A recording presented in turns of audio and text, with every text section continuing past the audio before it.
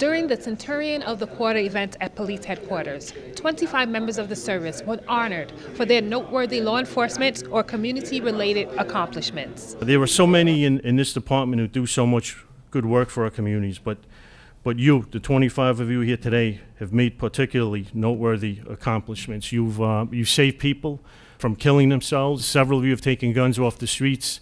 Uh, some of you have been involved in, in bringing down the violent gangs, the gangs that do so harm in so many parts of, of our city. Uh, you made this city uh, a safer, a safer place for all its uh, citizens in an effort to recognize the members of the NYPD who go above and beyond. They're small uh, circumstances, but these are the types of things that don't necessarily make the papers each day. But that said, it's an opportunity for us and the people of New York to say thank you. You're doing a great job. I work in the task force with the DEA and the state police.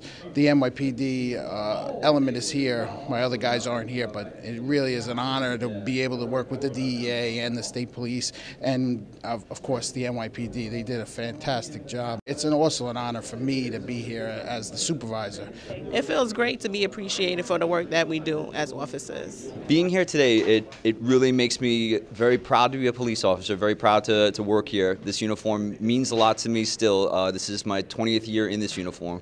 It's every single time something like this occurs with somebody I know, it makes me proud, but being the actual person to receive the award, I don't have the words to describe how proud it makes me feel.